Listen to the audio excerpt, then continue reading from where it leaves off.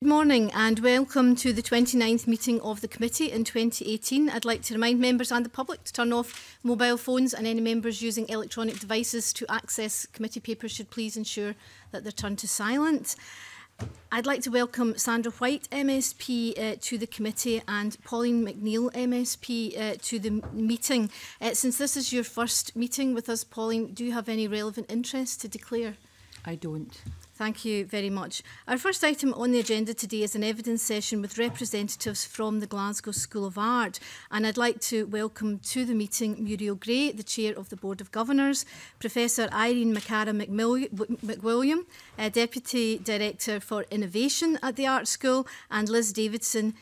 the Senior Project Manager of the Macintosh Building Restoration.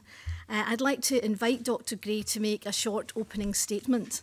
Thank you very much, convener, and thank you very much, committee. Uh, so no need to introduce my colleagues since you've done so uh, so eloquently.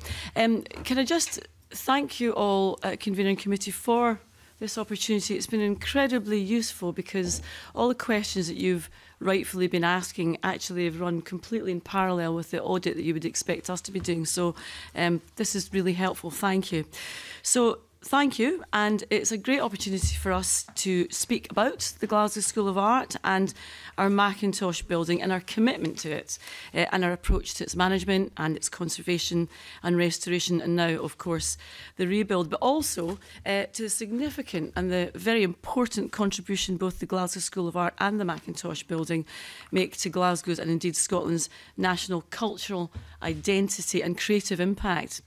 Uh, because we're without doubt experiencing uh, one of the most difficult periods in our schools' proud history. But despite that challenge, we really are continuing to meet our responsibilities to our staff and our students uh, and meet their educational needs, and also, of course, to Scotland by delivering on our commitments that are detailed in our Scottish Funding Council outcome agreement.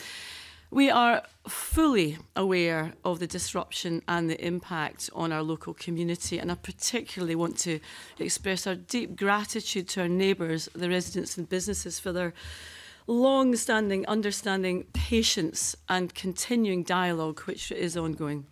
We're also, of course, extremely grateful to the Scottish Fire and Rescue Service, to Police Scotland, Historic Environment Scotland, Glasgow City Council for all their professionalism and support. Um, there has always been significant public interest in the Macintosh building, so it's understandable, obviously, that people want to know what happened and, importantly, uh, what's going to happen next. But the widespread Rumours and speculation following the fire in June are also totally understandable following the 2014 fire. Uh, and I can assure the convener and the committee that there's absolutely nobody wants answers more than we do. What we do know is that the cause of the 2014 fire was accidental, but we, like absolutely everybody else, do not know the cause of the second fire, and speculation about this really isn't being that helpful or supportive to the Scottish Fire and Rescue Service's ongoing investigation. However, what we do know is that we took every step possible above and beyond the standard in specifying the contract terms, including fire precautions for the Macintosh Building Restoration Project. So far from complacently standing back, we maintained day-to-day supervision of the project works, both on-site and off-site. Um, the tragedy is, of course, uh, uh, that just before this fire, uh, the contractor was doing an absolutely stunning and beautiful job, and the project was on time and on budget. And it, we had just been about to return for our staff and our students, and importantly for the people of Glasgow, not one of just the world's most important buildings, but one of the most seminal buildings which to study art and design and architecture for everyone to visit and to be part of. Now, we recognise the interest and the concern of the wider community, both across Scotland and beyond, as to what happens next, and particularly the interest of this committee uh, in that question. Uh, the board and the staff are completely clear about the importance of the Macintosh building to the educational experience of our students and to its contribution to the global position of Glasgow and Scotland's cultural and creative identity, which is so important. Um, now, this is a position that has been reinforced, as you know, by many of the contributors uh, to this committee's discussions, which has been very helpful. Um, Glasgow School of Art, therefore, is clear and very strong in its resolve to restore the Macintosh building to its rightful place at the centre of our education um, and to the city as an open and accessible working school of art. And as custodians of the Macintosh building, I'm sure you can see that's why we do not apologise for telling you over and over again that determination and that commitment. So, a written submission, which we hope you've all got, we think is uh, as comprehensive and detailed as we can with the um, accompanying documents. Uh, absolutely delighted to answer any questions arising from those, or indeed if there's any appendices that you feel are missing, we can also supply those later on. Thank you, convener. Thank you very much, uh, Dr. Gray. And can I take this opportunity to thank you for coming today and also to thank you for your extensive uh, written submission, which has certainly kept us all busy over the last few days. Uh, so thank you for that. Uh, can, can I start by... Um, in your submission on page 13, Uh, you say we have always taken fire precautions seriously across our whole estate. Now, in the course of um, our, our evidence gathering, our committee has heard from Alexander Kidd, who's a uh, independent uh, fire safety expert who chaired the UK working group on protecting historic buildings. Now, he said that he visited the art school with Historic Scotland in 1997, and at that time, uh, comments were made and discussions were had around the, the voids, uh, the ventilation ducts that Macintosh had desi designed. And of course, we know that in 2014, the fire report said that these ventilation ducts and other voids were the reason why the fire accelerated. So they were identified in 1997. Uh, your own report, um, the Federal report, which the Glasgow School of Art commissioned in 2006, also identified uh, these ventilation ducts uh, uh, as, a, as a serious hazard, and that, and that report said that the art school was at high risk of fire uh, spreading. Now, that was uh, more than 20 years ago, uh, and when we heard from your architects two weeks ago, they told us that these ducts still hadn't been blocked at the time of the 2018 fire why was that? Um, well, you, with your permission, can I pass that over to Liz Davison, who's the expert on voids? I've become an expert on voids, even more so, I think. Um, you're quite correct if we go back to, I think, Stuart Kidd, um, his report from his submission yes, to the. Alexander to the, Stewart, I believe. Yeah.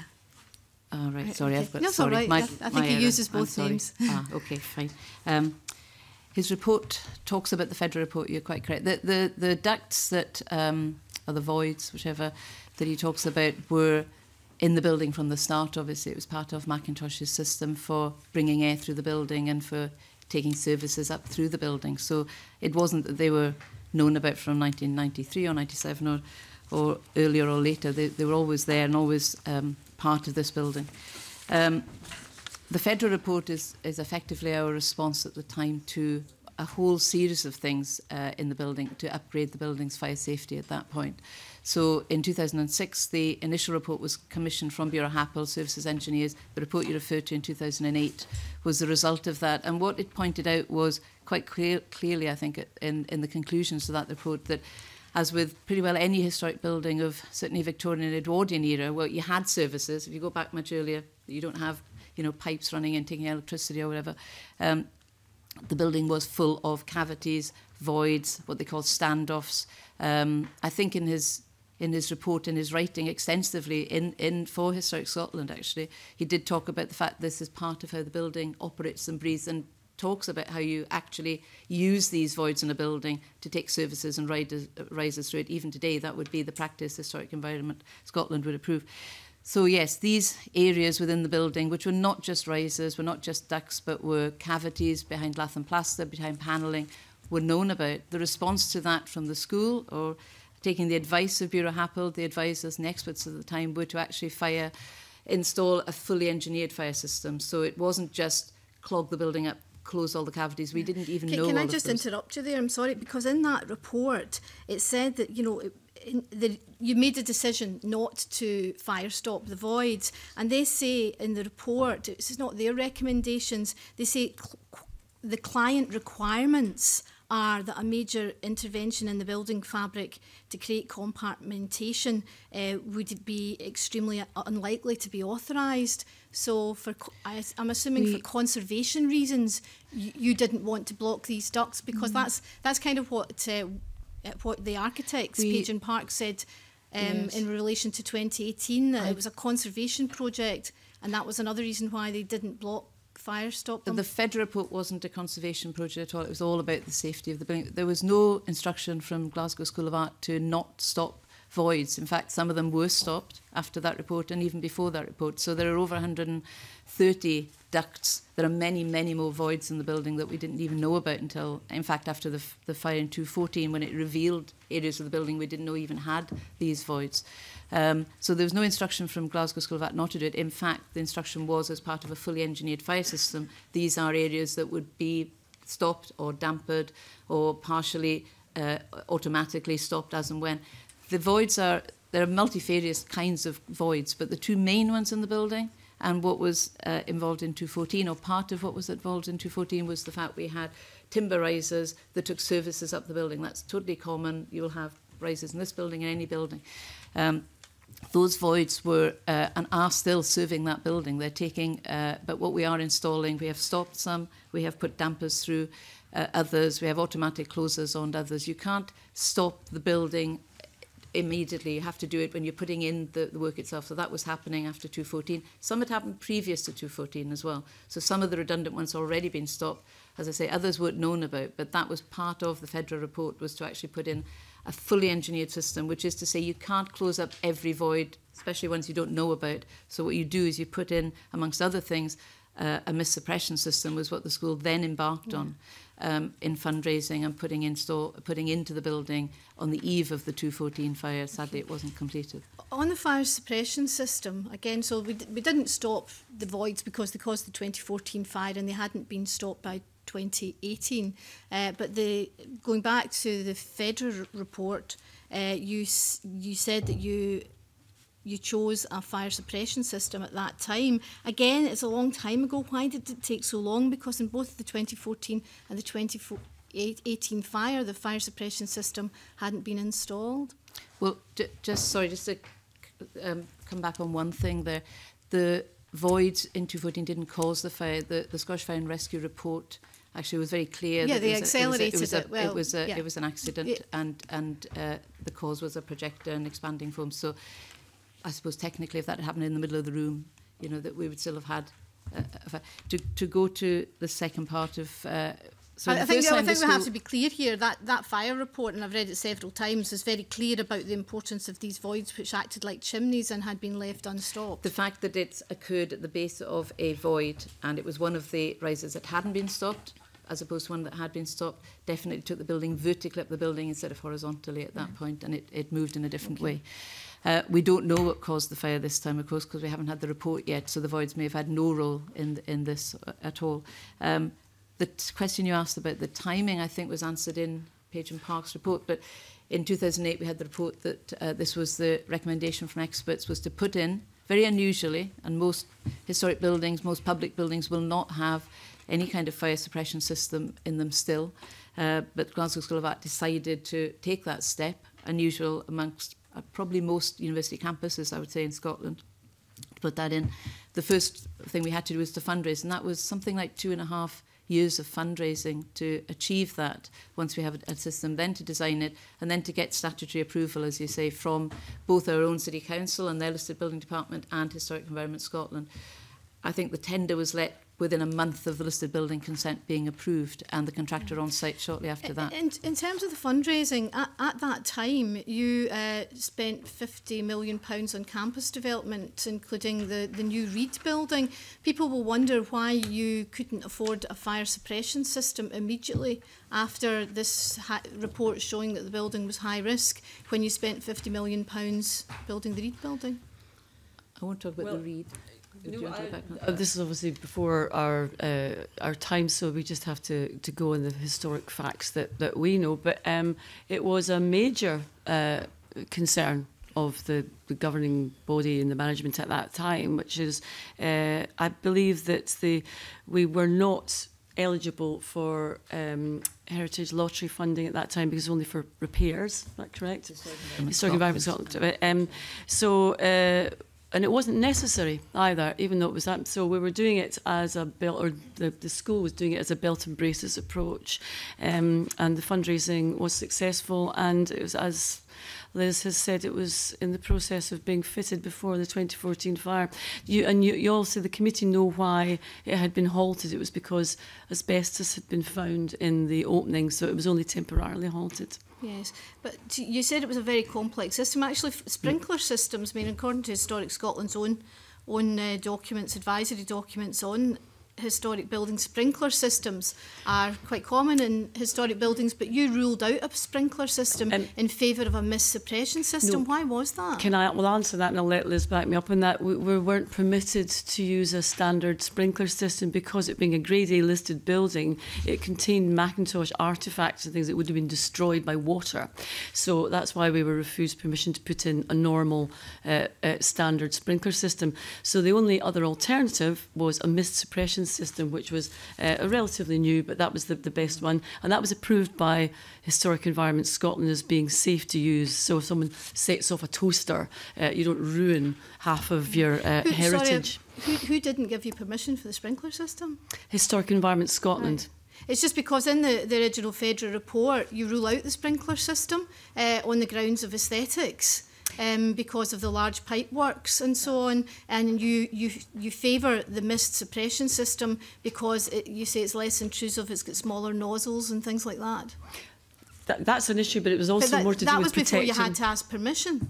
You, you had decided on the mist suppression system, which didn't have a British standard at that time. It, it, had, it was untried. It was untried. Can I remind the, the committee of one thing that Glasgow School of Art, the Macdosh building, was a fully compliant building at the time of the first accidental fire in 2014. If it hadn't been compliant already with every fire safety regulation in the land, we wouldn't have been able to have students in it. So there, wasn't a building that was inherently dangerous in, or too dangerous to occupy. It was already met every standard. We had fire alarms, we had every fire extinguisher already met it, otherwise nobody could have gone through the door as as Muriel says, actually, this is it was a belt and braces approach, and actually, not many buildings are sprinklers. Um, if you look at university campuses, we would probably both with the Reed, the Stowe when it comes on on um, a stream, and also the Mac when it would have come back and will come back, is probably about 70% of our estate. I would challenge, uh, you know, a survey of states around Scotland, of academia, of any other good historic public building to see more than about 5 or 10% of this So GSA is going way beyond. I understand your point about the sprinkler as opposed to miss suppression. The Lucid Bill consent is concerned about aesthetics. That is, it's not to make it sound a, uh, uh, a frippery. Uh, LBC is about affecting the character of a listed building. So Historic Environment Scotland or our own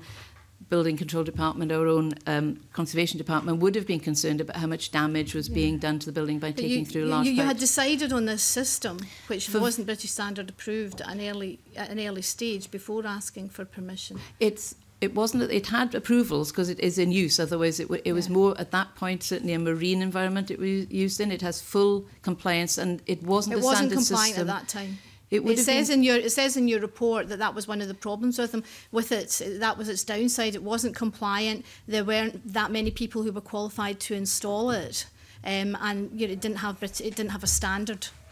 It is a compliance system. It is a kit of parts. So as we know from very long uh, discussions with both makers in Denmark, in our case, um, and FM approvals, uh, BS VA approvals, we had a compliance system that would have been put in. Otherwise, we wouldn't have had a building warrant for it. We couldn't have put in a system that didn't meet compliance. But it has yeah. possibly around 24, two dozen, three dozen different types of between heads, pipes, valves, pumps. You have okay. to put the whole system together, and that becomes the compliance system. The system that was being put into the Macintosh was an extraordinarily bespoke system because of the extraordinarily bespoke nature of the building, and it was to protect its aesthetics, but also very importantly, and I think it is in our report, We didn't have the water to put in a sprinkler system. A sprinkler system uses about a tank size that would have drained down Garnet Hill. So we didn't, we were not allowed from Scottish Water, and we had that in writing that we connect, couldn't connect to what we call the town mains. If we'd done so, well, they wouldn't have allowed that connection. We had to provide a tank in the building.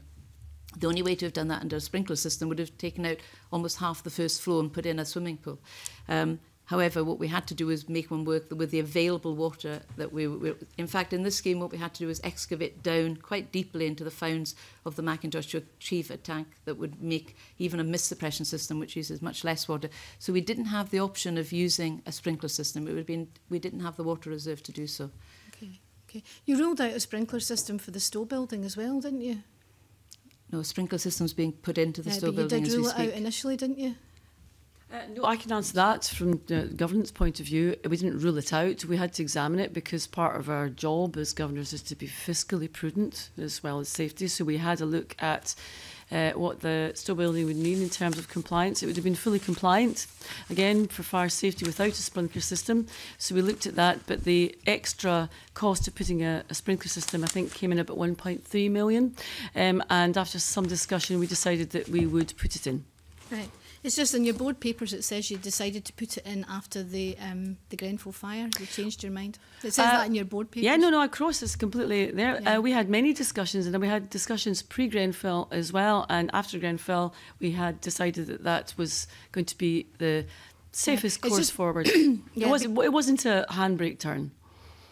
Okay, thank you very much, mm. Claire Baker.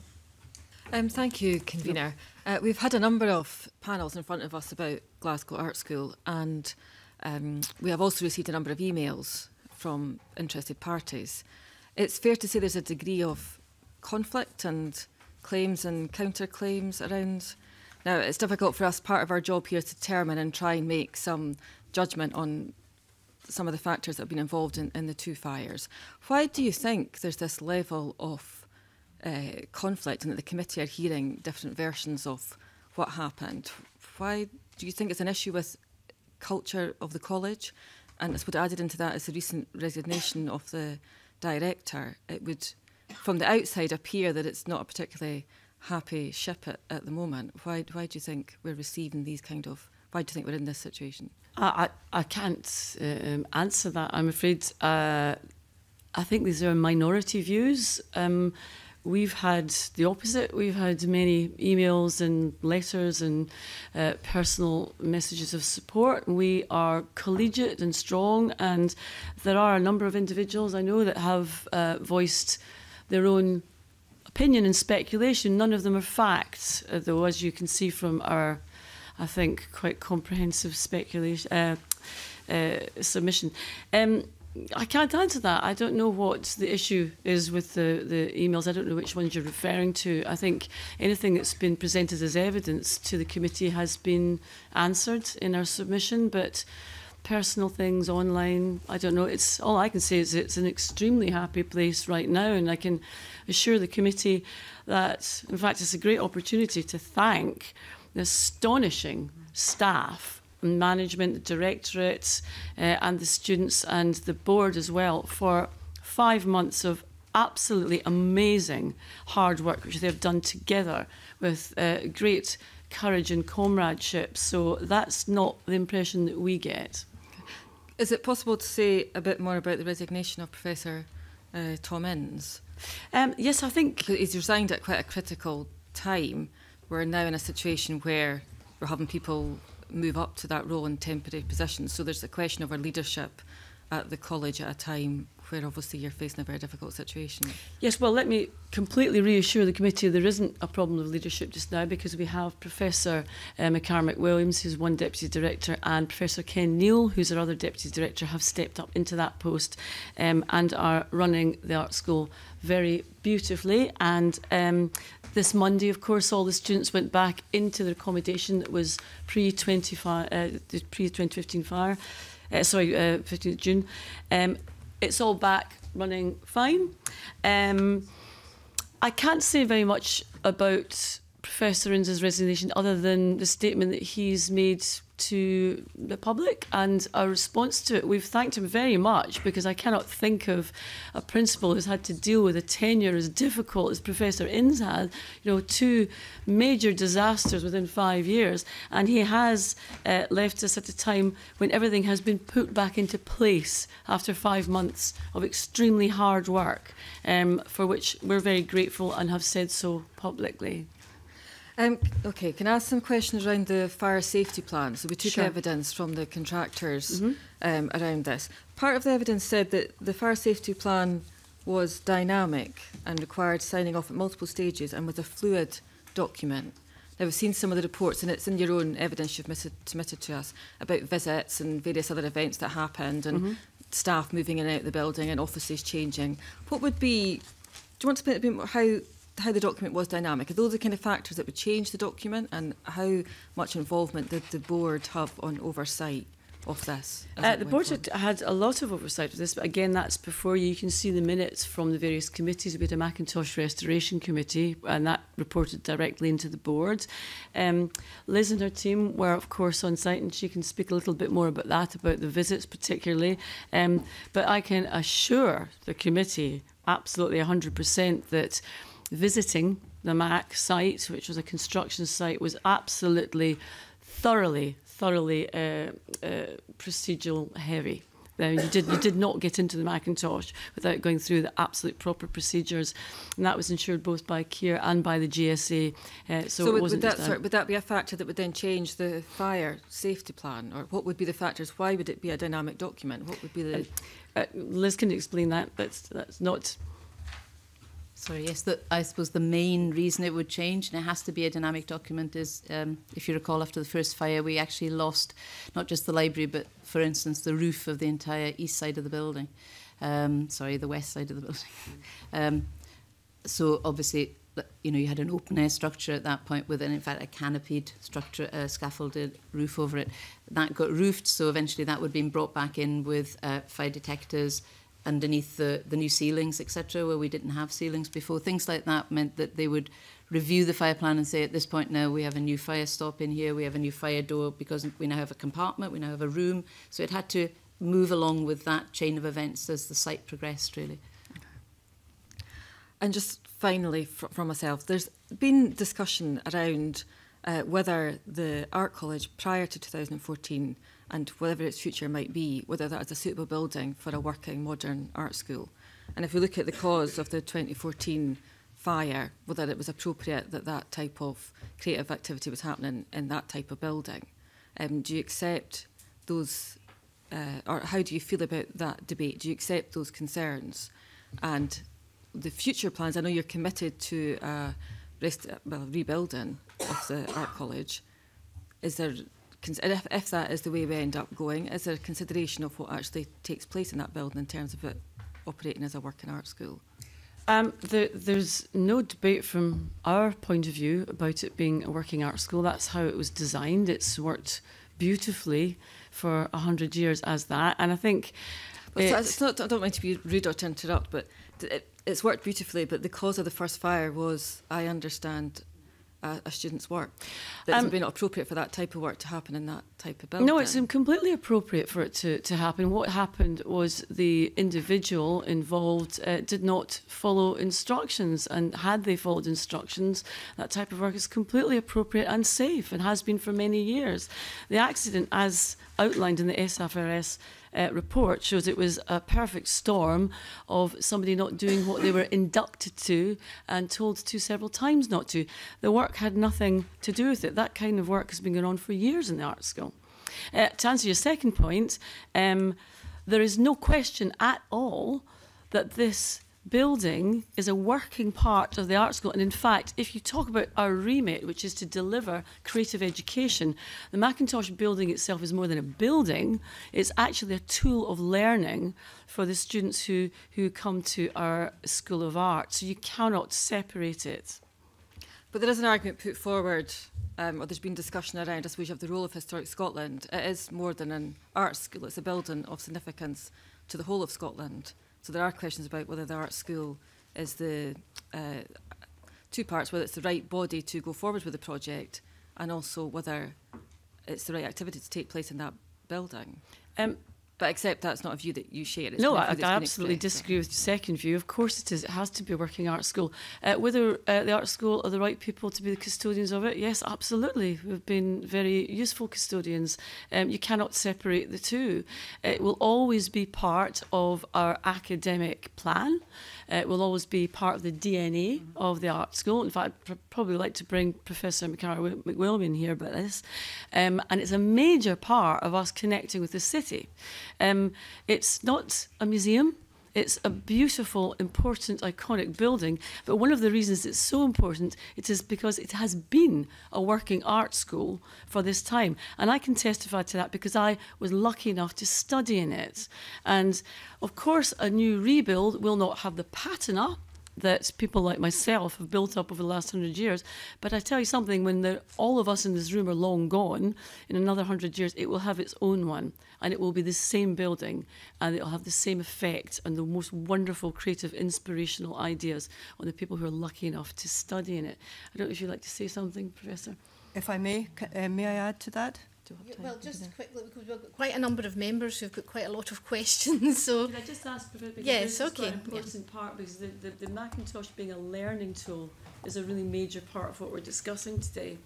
Since the 2014 fire, we endeavoured to bring back the Macintosh in a way that would serve the educational needs of our students and our future students.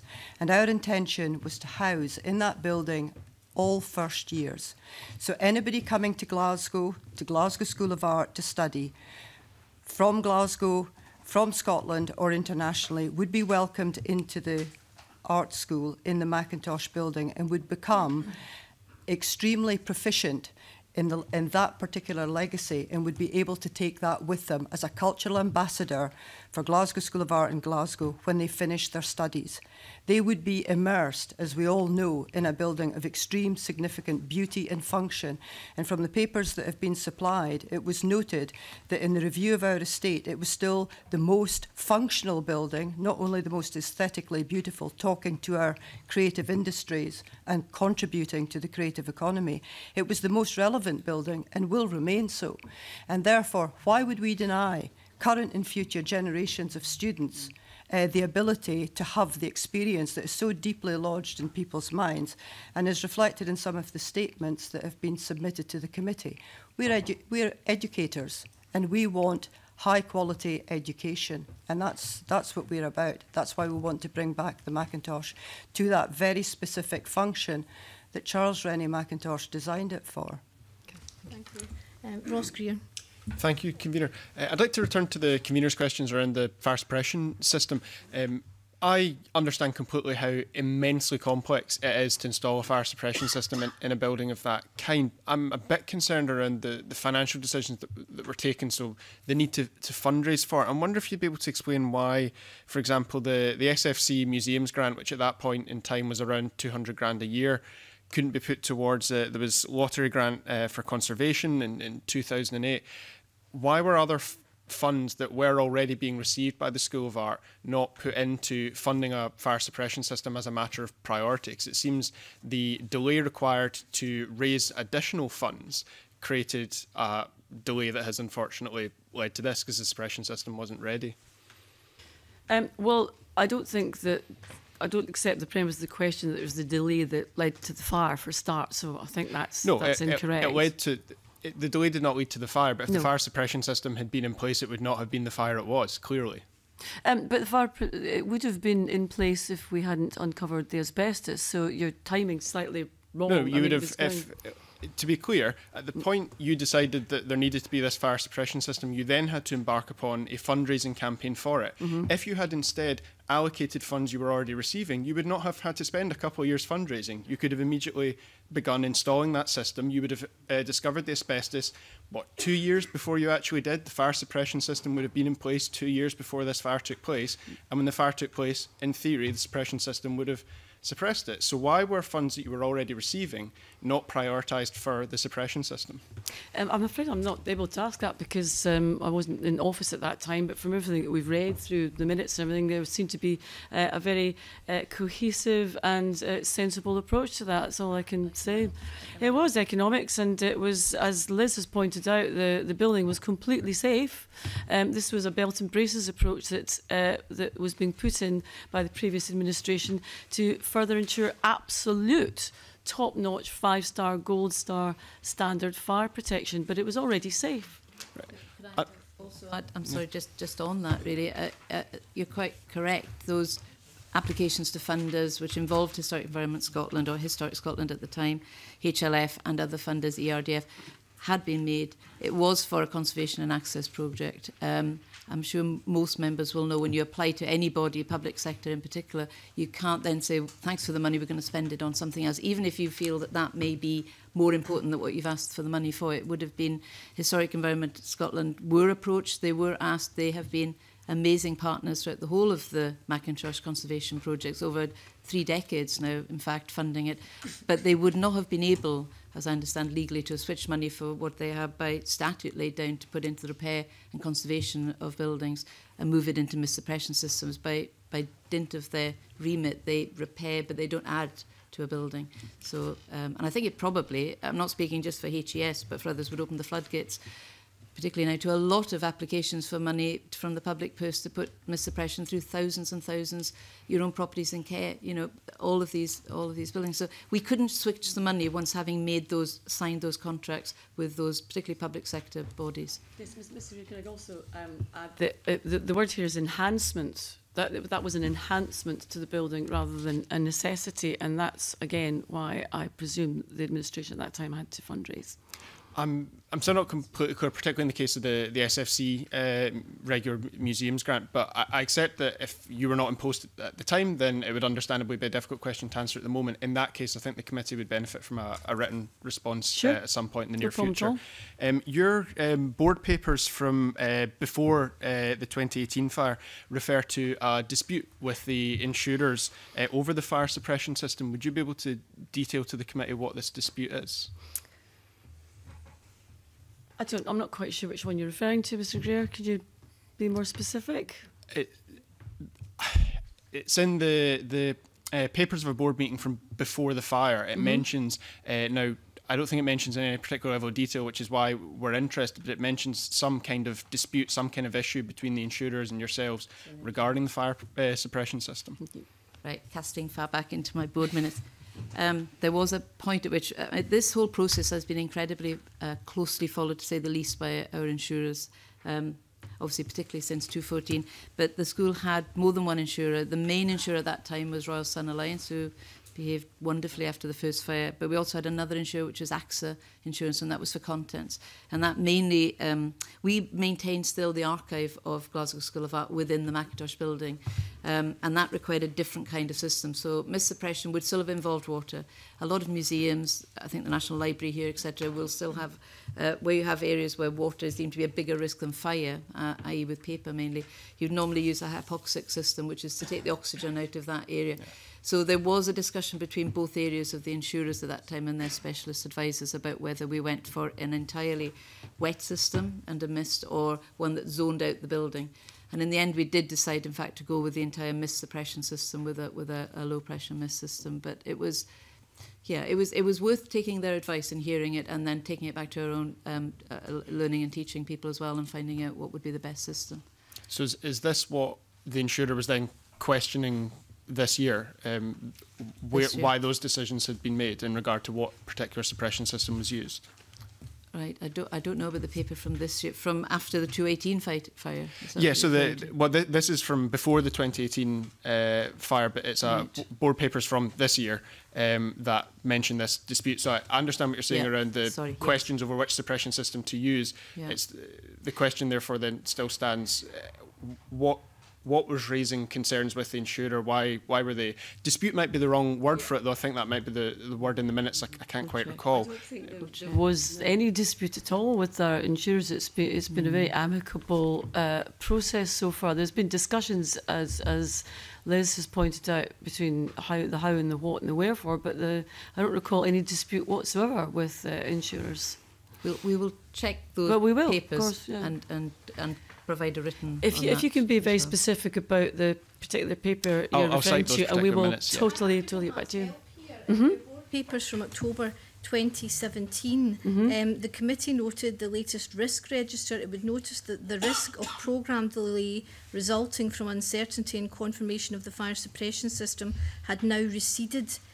given the progress made in discussions with the contractor and the insurer. Mm I think mm. a lot of people would be quite surprised that you were still, you had only just settled this um, this disagreement with insurer in October 2017, which I think it was well over a year after Kia yep. were awarded the contract. It wasn't a disagreement, convener. It was just an ongoing discussion, and our risk register is very thorough. That audit is very thorough about risk registers, so that was just merely the conclusion of those discussions. There wasn't any dispute. Okay, thanks very much. Tavish Scott. Thank you. Can I just ask a couple of supplementaries, Convener, to uh, Ross Grew's line of questioning, the first line of questioning there?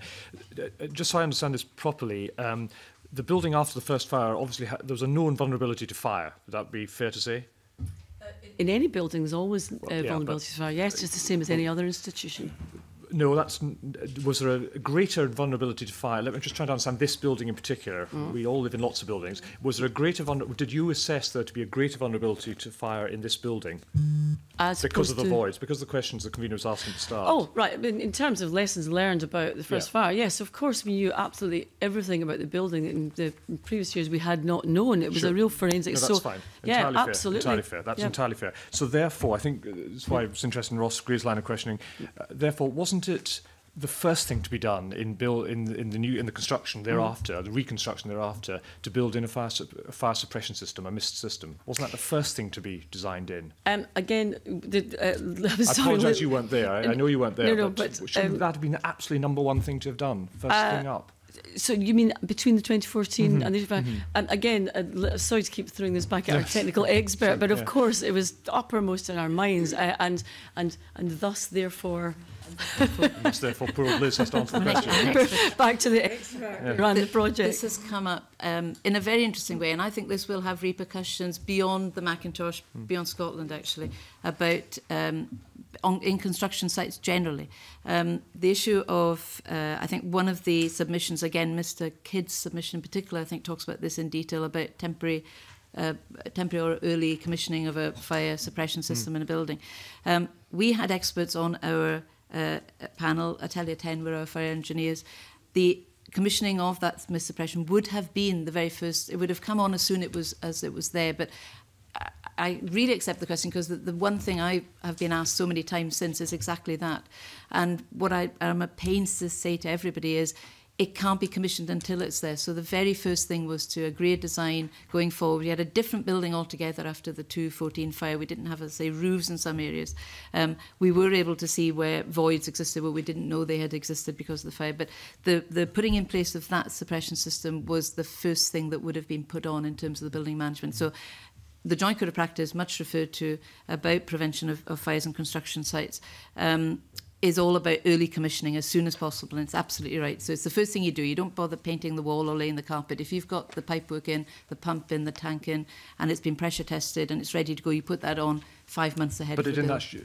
Just forgive my ignorance here, but it didn't actually happen, did it? It was Still probably two, two 60 years, probably 60 completed, but no, we had the tanks on site, and we had we had the tank being excavated, and that had completed, and the pumps were on site. The pipe was probably 60 completed. It has to the installation of the pipe work um, has to follow the construction yeah, phase itself. I, I totally understand, so yeah. it was moving from west to east as where the fire had happened and moving into the active area. The active area of the site was very much in the west. Uh, it was moving east and into areas. So, so in that sense, your engineers didn't think there was anything more you could do. I mean, I know this is all in hindsight, but they didn't think in any way there was more that could be done to build in that system uh, as early in the process as possible. It was genuinely being built as it went along. So th those guys were working quite often after the main trades had finished. They couldn't work on the same platforms as painters or plasterers. But as soon as a room was finished, the Miss was following in behind it. We'd come in on a Monday morning and that would have happened quite often because they would come in on weekends when the other wet trades or the dust trades or whatever had finished. So they were moving very closely behind. And Kia were managing that very tightly. So we had a big team that were just moving as quickly as they could to move through the building. As soon as a room was finished or a floor was finished or the compartmentation was in place, the Miss would come in behind it. But it's a very large site. It's not like you can put in something into a, into a room would be fine. But this this was seven and a half thousand feet of, of, of space that we had to fit out with a mist suppression system, a sure, very yeah. complex system. In that case, I really don't understand what the problem was with money, because it, Roscoe's questions were about why there was a delay in putting the system in, Uh, and his line of questioning was you could have spent money earlier. Let's not bother about where all the money comes from, but you could have spent money earlier. You're arguing that actually the system went in from day one as the building was reconstructed. Yeah, the difference to is that the question on money, I may have misinterpreted, sorry, so is that pre the 214 when we had what looked on paper like four years between somebody recommending a mist suppression system in the federal report to, to installing it uh, or not quite finishing the installation 214 was we genuinely had to fundraise there. Whereas after 2014, we were working on the proceeds of the insurance, uh, which was coming through, and additional fundraising that we received from Scottish Government and UK Government as well. So it was one of the absolute um, keystones of the brief that went out to the contractor in 214 was that the mist suppression system and a fully engineered fire system yeah. really would have been put into this in the building at, at the earliest possible point and commissioned as early as possible, which is what the Joint Code of Practice recommends. And would it be fair to say, I guess the Fire and Rescue Service are looking into that exactly that. That'll be part of their assessment as to what actually happened. They, yeah. They've not long since taken access, but it is something that... Yeah. yeah. Okay, thank you. Thank you. Gibson. Thank you very much, Convener. I just want to switch to losses to the collection. Um, Roger uh, Billcliff and Stuart Robertson, Director of the Macintosh Society, at Evans said that uh, GSA failed to be open about the losses from the 2014 uh, fire and said that your uh, media release and blog focused on what had been saved and some losses rather than full extent of the losses. So it's just to see whether there's a comprehensive public accessible list available. There is, yes, absolutely, totally, and it was at the time, and it's completely accessible and online and in the public domain. Okay, eh, because um, we've been told that staff have privately said they were prohibited from speaking about the full extent of the losses. That's, That's com the completely untrue. Right, and everything has been detailed. Can, um, can I ask you um, what the insurance payout was for the items lost and how will, how will this be spent? Because some of the items are obviously completely irreplaceable. Yes, they, they are completely irreplaceable. There were two separate insurance schemes at that point. One, of course, was for the building and one was for the contents. Um, so at the time, because as you say, they're irreplaceable and priceless. Um, because we're also part of a working museum and we retain really important objects, we also acquire. Yes. So we have to have a fund for acquisition as well as, as protection and conservation. So that money was ring fenced for that, and we've had to really carefully examine that. And we're by no means at the end of that process because, of course, the Macintosh uh, uh, rebuild uh, has been interrupted. But there is nothing to hide. All of that is in the public domain, and in fact, the budget budget for that is also in the public domain. If you're not clear with that with the appendices, again, I can easily provide you with that from the Well, I mean, department. is there an easy link or something? Because, I mean, it, it seems mm. bizarre that people are telling us, especially if someone is a director of the Manchester Society, is telling us that they can't access li the list of what's been lost. And yep, no, it's, they're, they're it's, it's, completely open, so would be, be good to actually find out what that was. Sure. What, what, could, and, yes, uh, could, could I just add to mm. that? Maybe just to yeah, come sure, back to, uh, to your point. that that index was published, and according to the details that I have here, that that went online in 2014, but certainly was uh, published to the media in 2015 because we had to detail the impact of the fire across our archives and collections. And following that, we provided the Museums Galleries Scotland with details of the collection losses, uh, mm -hmm. just uh, coming back to your question, so that they could review if the Macintosh collection should retain its recognised status. and they confirmed that it still had that recognised status. And that has, that has all gone online. Mm -hmm. uh, all of the items are on the website. So we did publish that in full and it was reported in the media. Okay, well, thank you very much for that. Just one final point, uh, uh, convener, is just uh, in, in terms of items that are being replaced, is there any timescale whereby by which you're aiming to have such items replaced? Uh, we haven't yet uh, addressed that. I mean, uh -huh. it's uh, obviously on our list to do, but you'll understand we're in a state of flux just now. Mm We've got other priorities, but yes, we'll publish that as soon as we know. There's, I mean, can I just point out, there's nothing that is private or being kept from you at all. Mm. Everything that we mm. know we make available. In fact, that's our remit to do so. And as I say, if there's anything missing, really happy to provide a paper to back that up. Okay, well, thank you very much for that. Sorry, thank may you. I just add a, a short yes. comment, if, if I may? Mm -hmm. um, The, uh, we also continue to acquire uh, for our collection, mm-hmm. of course, and we are particularly keen on acquiring the brilliant work of our own graduating students mm-hmm. uh, who show the contemporary work that, that they're doing. And for example, I have acquired one or two pieces from our recent graduate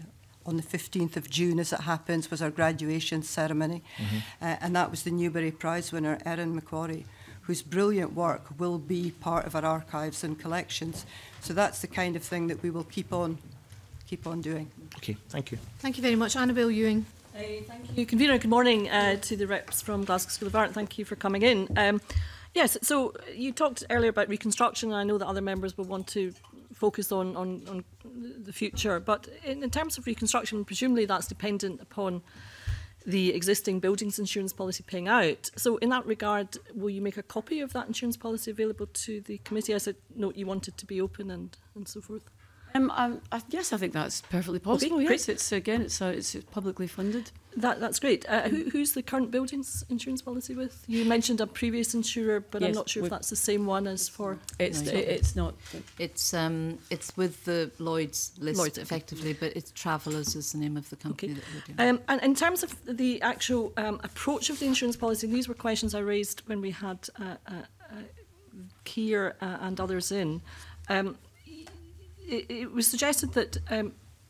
to us before we had our meeting with Keir that you know, you would expect after a catastrophic fire that um, what you would be having in terms of a, a renewed insurance policy would be not simply a policy reflecting conditions uh, of a sort of statutory minimum uh, compliance, if you like, but sort of add-on conditions. Can you clarify whether your current buildings insurance policy uh, adopts that approach of add-on conditions, so going beyond simply what minimum statutory requirements might have been in place? Um, can, can, you be more specific about the add-ons? That, well, I'm asking you. you I don't know. I've not seen the policy. We've not managed to get a copy of the policy yet, so I'm a bit of a disadvantage. Right. But uh, in terms of, of uh, normal uh, situations where you have a, a, a contractor going on site, um, I understand that there will be statutory minimum uh, requirements that the insurance policy must uh, e-, embody. Mm -hmm. But one would have thought that after a catastrophic fire, that there may well have been uh, a consideration as to what uh, supplementary add-on requirements might have been uh, part of the package such that you would be showing that you would be uh, using all your good offices to ensure uh, uh, you know that things were progressing in a reasonable fashion. Mm -hmm. Yeah, I think that's that's very much the case. I wouldn't really describe it as add-ons, but the insurance policy that we put in place was so robust at this time. And uh, in fact, I, I think uh, Liz negotiated with Keir as well about the the, the compliance uh, when we handed that contract over. So that would include what was within the insurance document. I'm very happy to provide that with you. I'm okay, sorry well, you haven't asked great. for it before. It's that's no really helpful, all. and we'll look forward yep. to receiving that. I mean, in terms of of what may or may not be part of the requirements of insurance policy, um, I, I note uh, from uh, various documents that, um, in fact, uh, after the first catastrophic fire and before the second catastrophic fire, there were various visits that you seemed to arrange. There was a whole host of people potentially milling about the site, uh, events organised, individual visits, Can you clarify exactly yeah, what I'd was going on? Because can I just say in that regard, yes, because sure. when I spoke to to ask here specifically about the the position of who was on site, so you know there was obviously Kier and its and its workforce. Then there were the specialist uh, conservators and, and craftsmen and so forth. But Kier was at pains to stress that there was only very few of those, uh, and that they were in fact subject to very stringent risk assessments and appropriate procedures, and in fact, Keir had to authorise those people being inside. So, what about all these other visitors that were kind of you know, the Act. Who was in charge of them? Who was supervising that activity? Well, well, thank you for that question. That's, I'm, I'm delighted to answer that because the speculation in the press has been very skewed and wrong and incorrect, and and I, I, there was nobody milling around for a start. Um, the interest in the Macintosh building has been enormous, and our connection with the local community and the wider uh, artistic and everybody else who's interested in the community It's very important that throughout this process, just to we're only months away from opening this absolute jewel, that during the process, which in itself was interesting and part of many research projects, uh, that we wished people to have access to it. But again, I'm going to hand over to poor Liz to explain Uh, the protocol for all those visits. Uh, they were so stringent, and I can tell you that because I, I, was at one of them as a member of the Glasgow School of Art choir when we sang uh, to raise money in the library, uh, and it's the first time I've ever had to sing soprano in full hard hat, high vis, and boots, which is uh, my excuse for being off key. But there was nobody allowed on site at all. that did not go through thorough vetting procedure and induction. Absolutely not. The photographs that were in the press, for instance, um, they were showing people who had been through the process and were now in a safe area and were permitted to take off their hard hats. We followed this to the rule. I mean, Liz will, will talk you through can that. Just, okay, but can I just clarify? So presumably then there would be a, a register of all yes, these visits and individuals. There would be so uh, everybody, yes, every single person every that was on that person, site. Yes. What about on the day of the fire, the mm. second catastrophic fire? Who was who was milling around on that day? milling around. Well, who was there? Who was on site on that uh, day? Well, Were any of these visits, these individuals, these groups, these school children, these no I, I, art so, appreciators? I'm sorry, Missy, I do take issue with the milling around. There was no milling around on a construction site of such importance.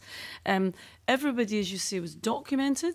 All the visits. Was there somebody there on the day? That's my question of the second Castor Well, it was fire. the day of the graduation, so um, we would have to ask here that. I mean, we were all at the Butte Hall. There was no visits organised by the GSA on that day at all. No, so I'm sure you could. Uh, Keir would be able to answer you uh, as to whether there were any technical visits that day. But as far as the GSA is concerned, yeah, for that, um, yeah, for that day, uh, um, it was a Friday, so actually technically a lot of the contractors do stop work early on a Friday, and I think we had um, the contractor itself would have finished probably about two or three o'clock that day. There were no visits. In fact, there were no visits that week at all, and it was one of the very rare occasions. So we do remember it um, that we had said to a group they couldn't go around the building, and that was on the Tuesday, and it happened to be the Charles Rennie Mackintosh Society, um, who did think they were going in up until the point they arrived in the Reed building where we assembled people. And at that point, we'd spoken with the contractor, and on that date, he'd said, No, there's too much going on. They wanted to get into the library, and we couldn't let them into that part of the building. There was too much physically going on. So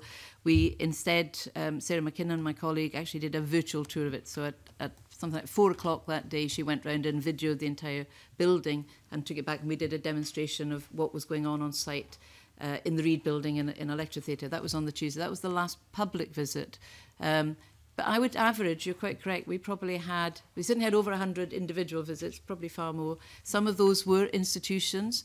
Um, some of those would have been things like Building Control or Historic Environment Scotland. There were lectures, there were events occasionally, not often events, but it was actually written in our tender, so before Kia were even appointed, that one of the things we were absolutely committed to in the tender process was to um, demystify construction, to bring people into the industry, to talk about the traditional skills, and to spread the awareness of this extraordinary building. And it, it was actually very much in furtherance of Scottish Government procurement that we wanted that in the process, that we wanted through the Public Contract Scotland to actually engage through the Community Benefit Clause with a local community, with a wider community, with an educated, interested community. And we did have visits from America, Japan, and from people across the road. And where it was safe to do so, there was a very strict protocol and PPE and um, standards that had to be followed. Okay, well, that's uh, uh, uh duly noted. Um, in terms of the going back to the position, I'm just finishing, know, of the insurance policy.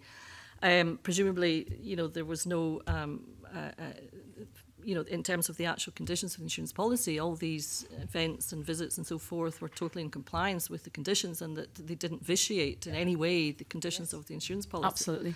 And last question would be, um, I had understood uh, that um, after the catastrophic fire number one, that the GSA um, had only a very limited base on, on site and, uh, in fact, moved out at some point in 2018.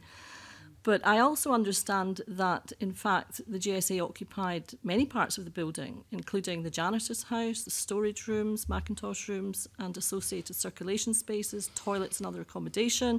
GSA also used kettles and cooking facilities on the site. Television and AV equipment were used. Is that uh, accurate? Um,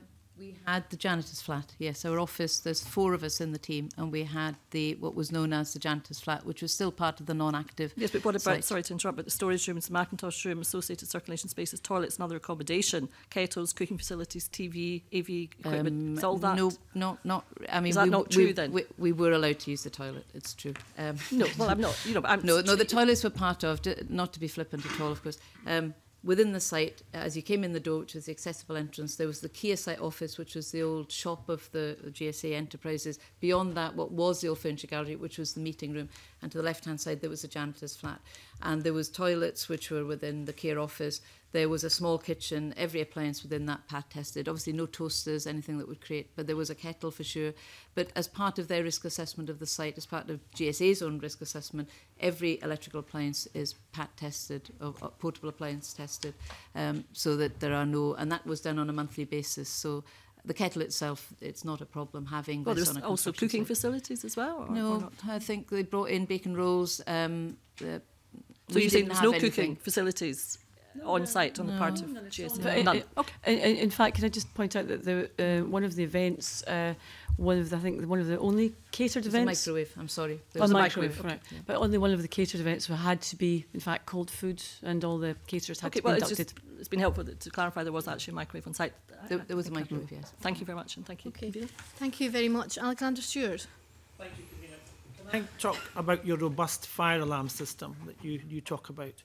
Uh, the fire service tell us that there were dozens of false alarms that took place in the run-up to the blaze in June uh, there was an average of three a week uh, in February, March, April and May, but there was none in the three weeks prior to the fire in June.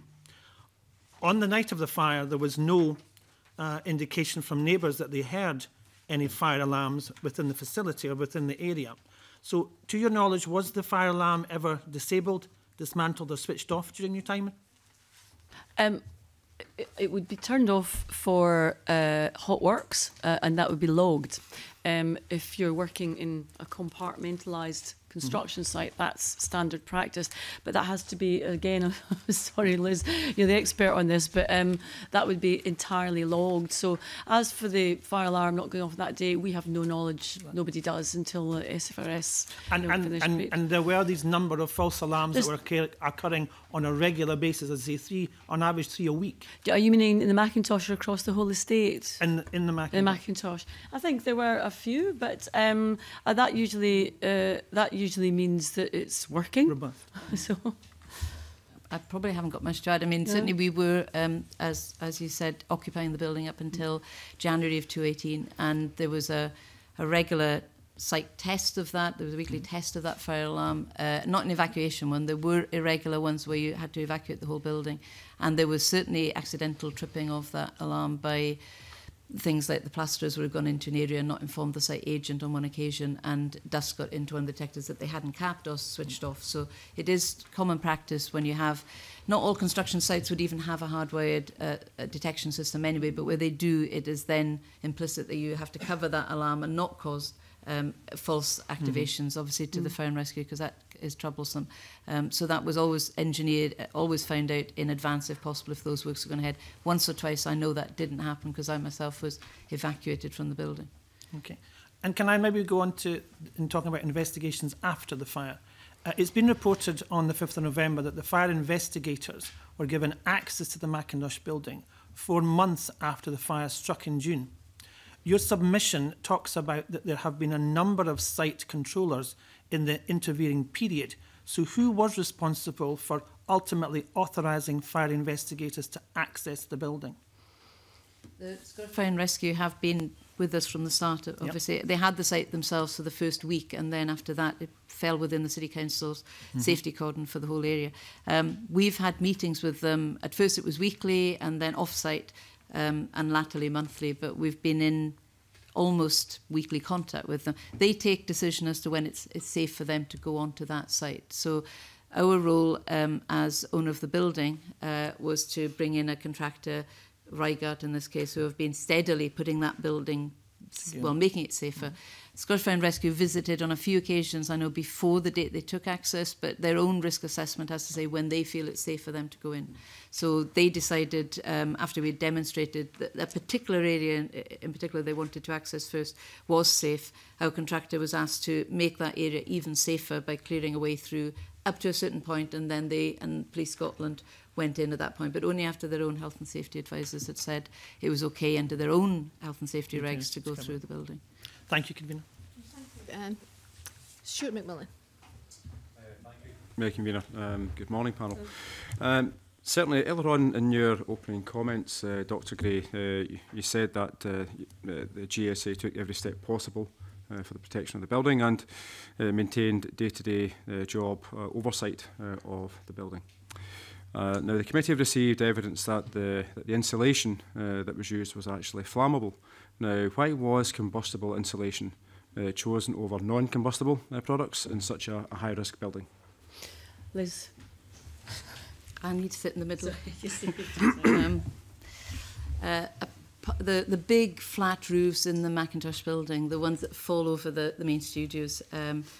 were uh, were being insulated. So part of our commitment, again at the outset, before Kier were appointed, was in the tender to achieve the highest level possible an a listed building uh, of, of um, sustainability, of energy efficiency, etc. So that ranged from a whole range of things, from LED lighting to um, single glazing, a uh, single uh, slimline glazing on the studio windows.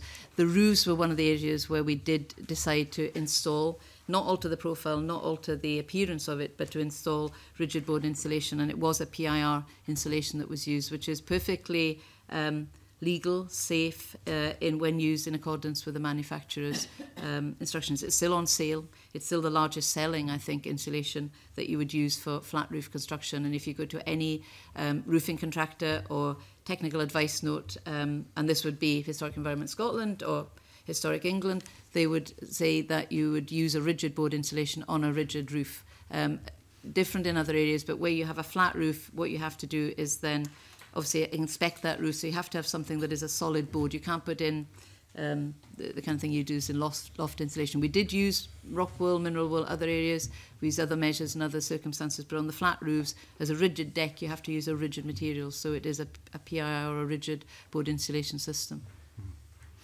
Uh, but certainly, I mean, after the, the, the first fire, I mean, I would have thought that, uh, that any restoration works should have sought ways to ensure that any of the materials uh, that were going to be used uh, would have been uh, the best possible, uh, and mm -hmm. uh, particularly regarding the, the issue of the, the flammability of that particular product. The majority of the build we were actually putting back into that building was timber. Um, I mean, that's far more uh, flammable than, uh, than, yeah, than yeah, this. But, but on the issue of insulation. On insulation, as I say, we were using a range of measures there. So we did have mineral wool where it was upstands or um, cavities, areas that we could we could use. Within the flat roof, that is what is the manufacturer's spec. There's nothing illegal about the use of this material in, in safe, in following the manufacturer's instructions, which is basically you don't allow oxygen into that space. Mm. So it has to be an encapsulated space. And in our case, we had we had an inverted deck roof and we uh, it had a mineral um, asphalt felt roof on top of it which is in line with its original detailing by Macintosh in fact and that is a perfectly safe way to use that material. Hmm. Okay. Uh, got a question just regarding the, some evidence that we received um, a couple of weeks ago, uh, and just regarding the uh, the actual building. Uh, uh we were told that the at the time the principal contractor retained possession of the site. Now, is that correct? Yes. Okay. In terms of the rooms that, uh, that yourselves possessed on site, who retained the, the possession of those rooms? The, the entire site is under care as part of the contract. So right. we were there by their leave, I guess. Okay.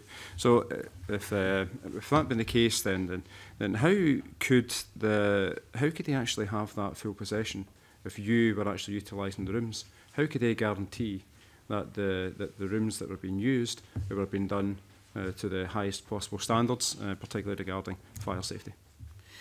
Um, we were subject to the same rules as anybody else coming onto the site. I mean, we didn't have to sign in every day. Um, we had to have a CSCS card, which is Construction Certification Safety Card for, for access to the site. So my entire team have had that certification, which Kia had been very keen that we had um, to go around. We were inducted like anybody else. We had to sign in of a if we went beyond that point in the site. Um, so as you come in the door, there were rooms which were it's like having a porter cabin within the Harris fence of a larger site. Um, but we were subject to exactly the same rules as anybody else other than that. And our rooms had to be pat tested and any equipment in it pat tested as well. So um, we were like any other uh, anybody else under the same control regime that Kier would have applied to, to anyone else coming in. No. Okay, okay, that's helpful. Thank you. Thank you very much, uh, Jamie Green. Thank you, convener. Good good morning, panel. Um, it's, it's very clear that there's a lot of passion uh, uh, on the panel for uh, the School of Art, and that sort of leads me into looking ahead, I think we've spent a lot of time looking back at the what ifs and the maybes, and I think that's very relevant uh, and there are due processes which will have to be followed. But I also think it's important we have an open, frank conversation about what next, uh, both for Glasgow and, and the community. Um, I, I, would like to kick off by just uh, uh asking what the panel's views are on this. Uh, we've heard a real wide range and a, a very broad spectrum of ideas and, and opinions on this, everything from uh, comments such as it should be left as a ruin, architectural ruins are among the most emotive objects in the world. It's a fair point from one witness to uh, others saying uh, there's no argument for why you wouldn't rebuild the school as it was. Uh, uh and other uh, views who think that you can't rebuild the MAC because it won't bring back historic building, you'd just be getting something else.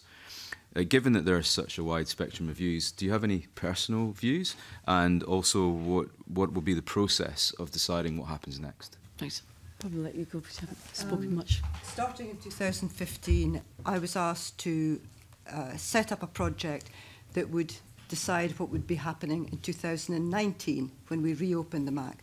And I have in front of me the project proposal for that, which I call Transformation Design for the Future. And in it I stated, the Glasgow School of Art Macintosh building is in the heart of the campus, the heart of the city of Glasgow. And with that, we were making a clear statement that we are Glasgow's art school. And we're, of course, just known as the art school in Glasgow. Um, and we, made, uh, we set our intention to say the past would be revealed, revo- uh, restored, and intensified, and would host a new form of creative practice that integrates, expands, and makes public the work of the school.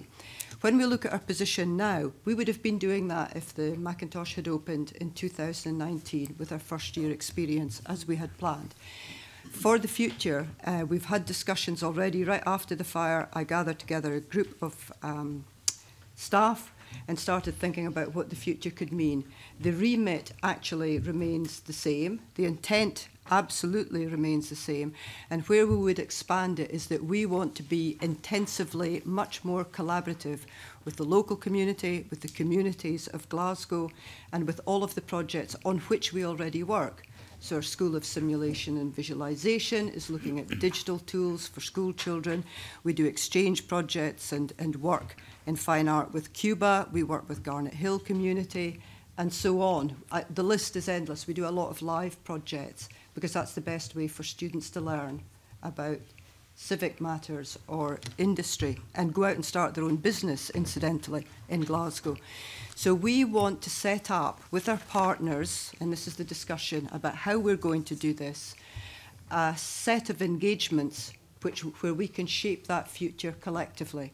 So I think we would answer that by saying, we're not saying it's going to be X or Y or Z, but collectively we can do the best for the art school that will also be the best for the city of Glasgow. And I think the chair can attest to some of those discussions having already started. Yes, yes, absolutely. Um, uh, thank you, Irene. It's I'm so happy you've brought up the future because that's what we're looking to just now.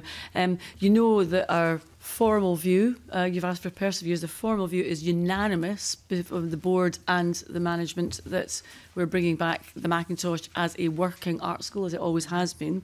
Um, my personal view could not be stronger because I am lucky enough to have been a graduate who worked in that building. Um, and I don't think I could sleep at night if I was on watch when that ladder was pulled up behind me where I saw that Macintosh building not coming back and having be given to future generations to enjoy that privilege that I took for granted at the time, but has changed my life out of all recognition, uh, uh, which is uh, why I agreed to do this job, in fact. Um, going forward, is about the most exciting thing at the moment I can think of because we are in discussions just now closely with Glasgow City Council and the community about how we can have a front for the Glasgow School of Art on Sucky Hall Street, how we can spread out into the city and include everybody. Because although people who know we're there know we're there, uh, not everybody who comes to the city does. Um, so we have uh, a big estate strategy plan, uh, which we're just putting together now, now that we've stabilised uh, uh, the school in terms of academic uh, teaching for, for the next term. And we'll be sharing that with everybody um, and inviting in everybody for consultation over that, uh, because we recognise that as part of the creative industries, which is so essential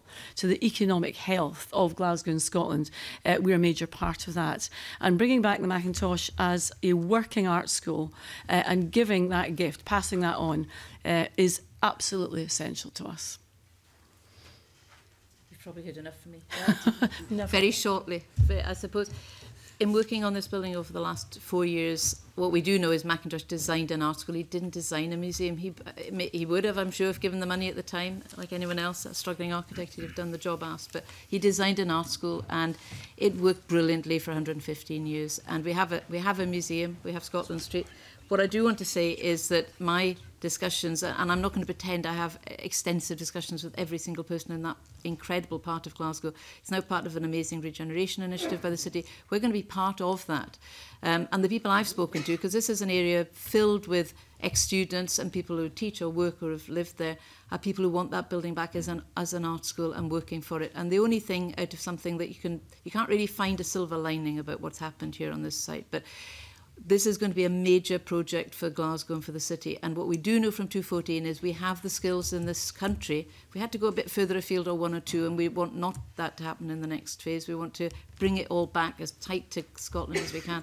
We have the crafts and the skills and the people who put their heart into that project. It was nine months away, and it was looking – extraordinary. It would have been a wonderful place to have been this time in March, but um, we can do that again, and I think this will matter to Glasgow and to mm-hmm. Scotland. This project. Um, can I, I just just to to, to um, Ms Ewing's point is that in this next rebuild, um, having people come in uh, to this construction is going to be a major part of some of our research projects and involving people from the City College in Glasgow, apprenticeships and so on. So we're wanting to use this construction as part of the learning process. So yes, I mean we are. I, I, Liz is right. There's no silver lining to it except the fact that we're we're not beaten by this at all. We're enthused again to try and make the absolute best opportunity out of a disaster.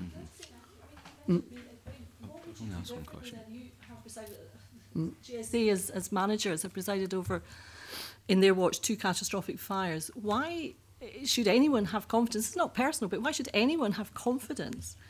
Uh, that um, that can be avoided well in the future because it's you. not just once with okay. respect it is twice well can, may, may I, I so, thank you very much for giving that opportunity to point out they're two entirely different incidents. One was an accident in a fully operational building in plain sight, which was evacuate, evacuated with procedures that were exemplary. The Scottish Fire and Rescue report has uh, documented that thoroughly. And also, that gives me an opportunity as well, Kinnear, to point out there's nothing redacted from that report, by the way, contrary to one of your witnesses saying that the only redaction was that of the individual involved in the fire. The second was a fire on a construction site in the possession of Kier, in a non-operational building. So the confidence you can have is in that intervening four years, the art school was managed perfectly well, competently, and I would say uh, rather magnificently given what we were about to deliver back to Glasgow. that's why they should have confidence. I suppose it's the definition of magnificence. If there's a catastrophic fire that has seen the well, end of the building as we know it, because so. um, unless you have um, any proof to the, d- unless you have proof, because we're here about facts that it was mismanaged, we would be certainly very pleased to hear that.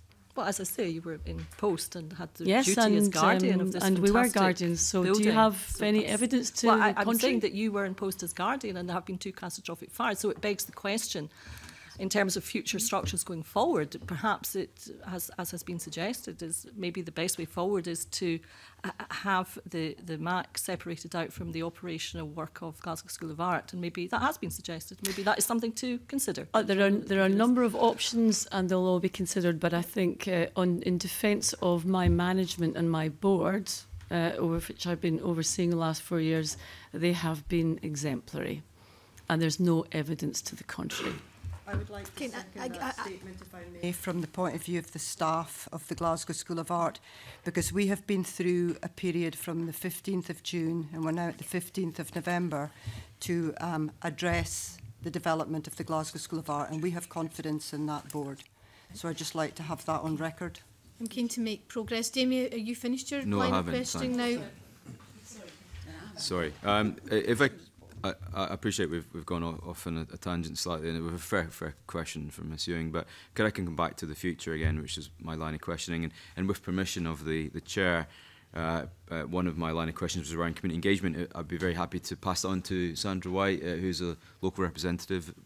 uh, if, if that's okay.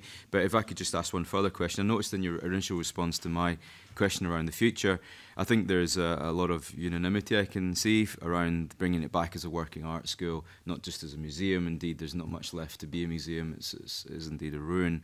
Um, and, and you talk about the next rebuild, and I think that's the phrase you use, but you clearly weren't specific around the nature of what that rebuild may or may not be.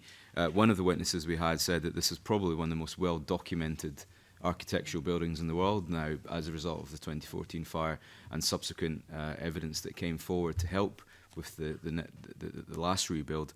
You know, do, do you have any views as to whether you think we may see the building uh, at least try to be rebuilt as it was being done before the 28 fire, or is there any uh, uh, sympathy with the notion that, that, that there should be still a working art school uh, that is sympathetic to the work of Macintosh, but not necessarily recreates what we were trying to recreate before the 2018 fire. Um, well, I can I can answer that because um, obviously after the 2014 uh, disaster, we uh, had massive consultation because, of course, we're a creative uh, institution and wish to be creative. And so we put consultation out, not just locally and not just nationally, but internationally, even uh, out to Venice and to, to the States, to ask the architectural community uh, and everybody else uh, what they thought that should happen. Because there were, there were a lot of voices saying perhaps Macintosh would have preferred you to build a new, brand new building. And we, and we took that on board and we discussed it at great length. And every avenue led us back to the idea that we had to just repair what had been damaged.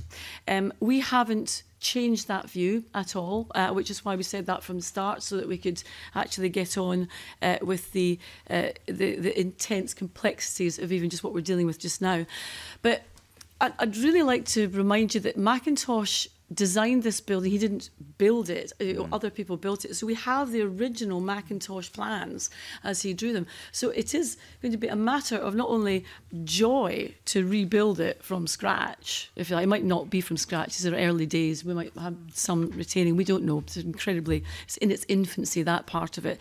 Uh, but our intention is to bring it back exactly as Macintosh designed it.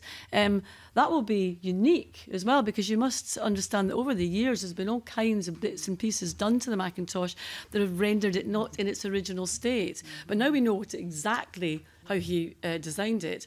Uh, what a thrill uh, for the people involved in that, and again the community involved in that to, to do that from scratch. So that's rather exciting. Mm -hmm. So when we see rebuild, yes, we are envisaging uh, an absolute uh, you know, Macintosh building as he designed it.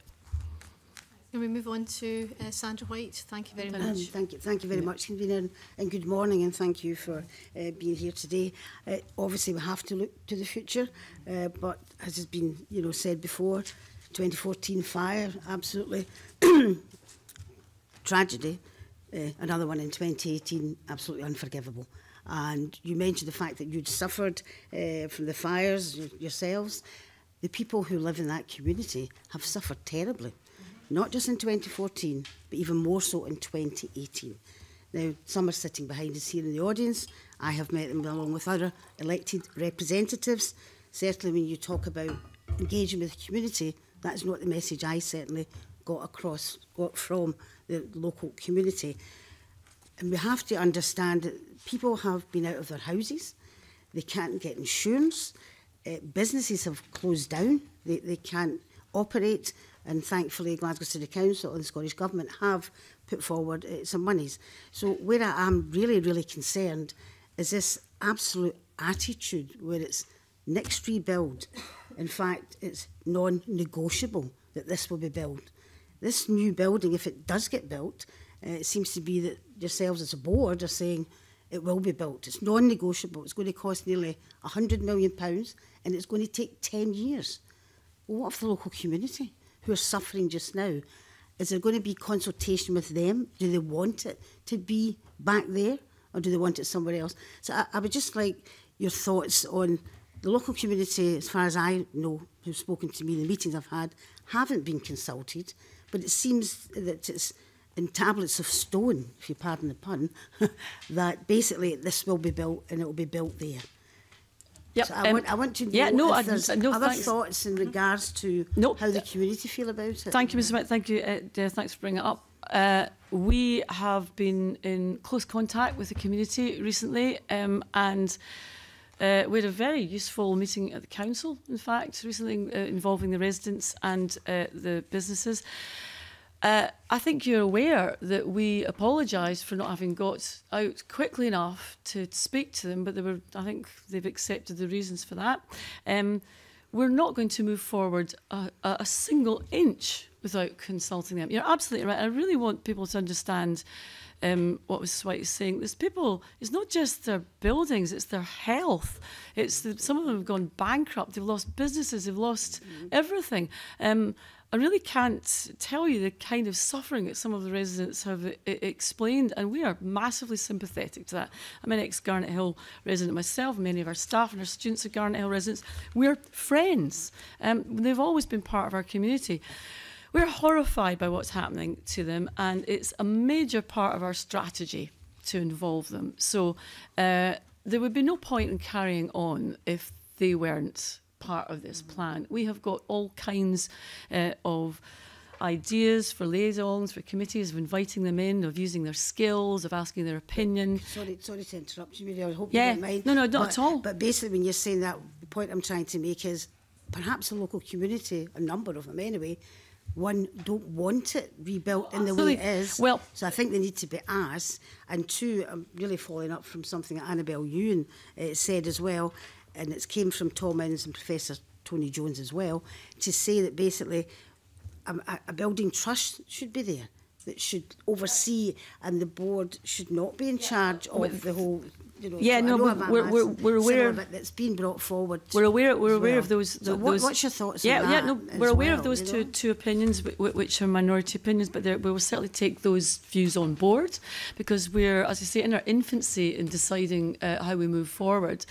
um, and we will will look at every option.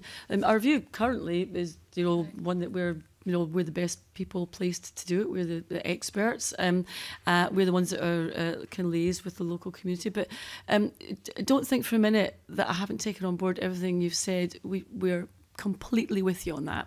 Um, and yes,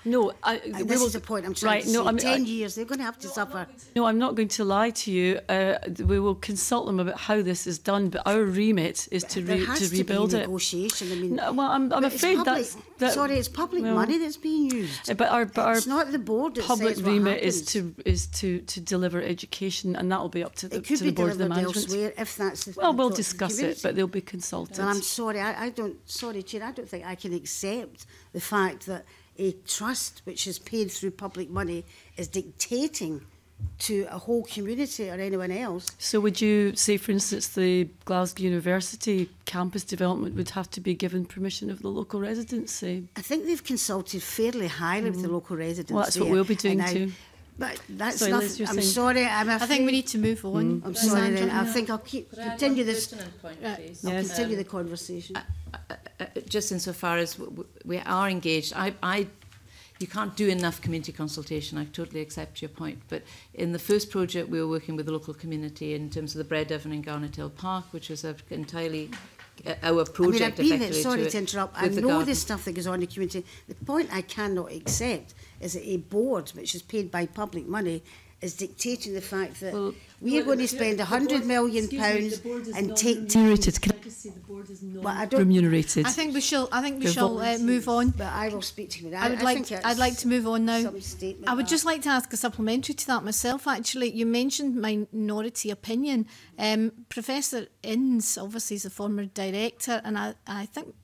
uh, uh, Professor Jones is a former director as well. Um, they've both expressed the view that the Art School Board shouldn't be in charge of any rebuild. So that's two former directors. So that doesn't, it might be a minority opinion, but it's certainly a very um, significant one. And I think that the point that um, that ha has been made by Professor Innes is that um, this uh, capital expenditure project of a, a hundred, uh, hundred um, million pounds is far in excess of your turnover. I think your turnover is about 37 million pounds a year. Um, so £100 million is far in excess of that. And in his view, it will be detrimental to your work as an art school. Um, to have to take that on again. Would you care to briefly comment on that? Yes, uh, uh, not at all. Um, I, I, completely respect um, Professor In's personal opinion, which is his to express. Um, I disagree. Uh, we do know that um, when we uh, appoint a new director, it will be a really exceptional person who will be able to manage both projects and oversee them by the proper delegation of, of being able to bring in the experts who are uh, absolutely placed to be able to oversee such an important thing, as we did uh, with the 2014 FARC very successfully. And it is a big ask. Um, uh, and that's what we'll be looking for. But we have no doubt whatsoever that we have the capability of doing that at all. If I might add just mm.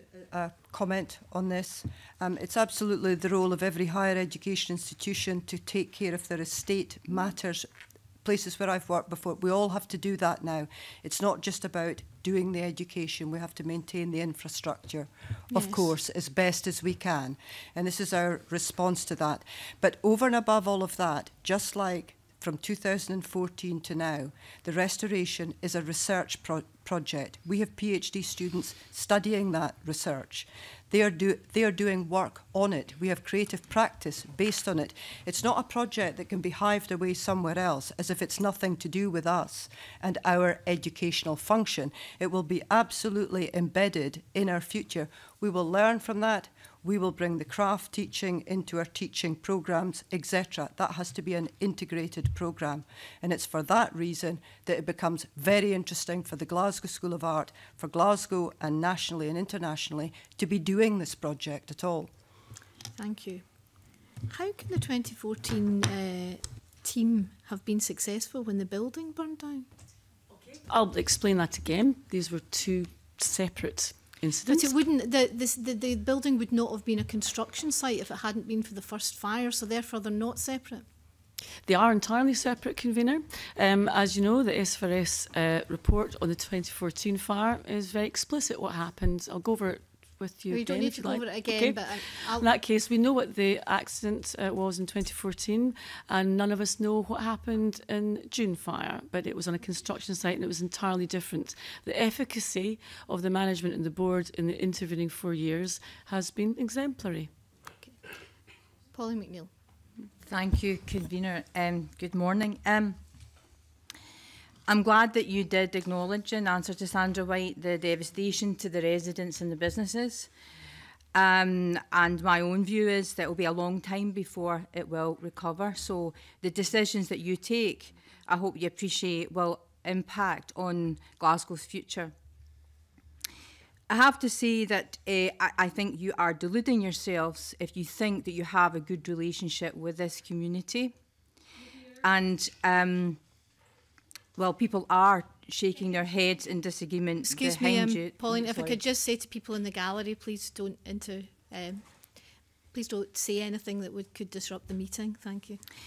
And it's one of the things that the fire has exposed is that we have this wonderful institution in Garnet Hill, as you say, but it has exposed your feelings over the last number of years to involve this community. Now, so it's not maybe uh, the business of this committee as to what the future of the art school is, but it is the business of local politicians if you're going to spread the estate to Sucky Hall Street. Now, the fact that I'm going to have to ask you these questions, I'd hope you would take as an indication that you're still not properly informing the community of your plans. And I would plead with you on this. If you want to rebuild your relationship with this community, you really start need to start telling them immediately what your plans are. I do have some questions about the fire investigation, but maybe you could just tell the committee first of all um, which buildings then do you intend to spread out to in Sucky Hall Street to create this frontage? frontage? no idea yet, and I and I absolutely agree with you hundred percent. We can't take that estate strategy forward at all without, as you say, repairing any damage that the some of the residents or some of the businesses might feel has been done. Not all of them, can I say?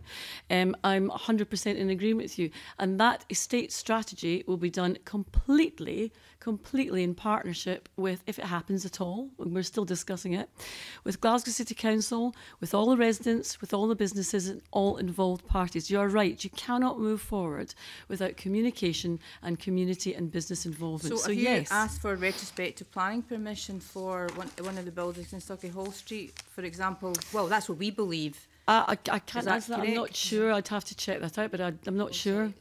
Breckenridge, oh, Breckenridge. Sorry, that was about decant. Sorry, that was okay. about student decant. That wasn't about future right, so state strategy. Temporary. Yeah, yeah, yes, okay, absolutely. Yeah. Right. Um, should I ask you about the fire investigation? Mm-hmm. Um, it was a shock to a lot of people mm. that it's only just started. Now, I'm sure you understand that the businesses and the residents are anxious to find out the cause of the fire because they will have questions and there'll be liabilities issues, and we don't know who yeah. was responsible. You said earlier that it was accidental. So I wondered how you're Sorry, able to the 2014. You're talking about 2014. Yeah, Sorry, yes, okay. Yeah. So 2016 fire, we don't know much yeah. about. But do you think that the fire investigation is now compromised by your decision to protect and rebuild the Glasgow School of Art, uh, the, the, the Macintosh building?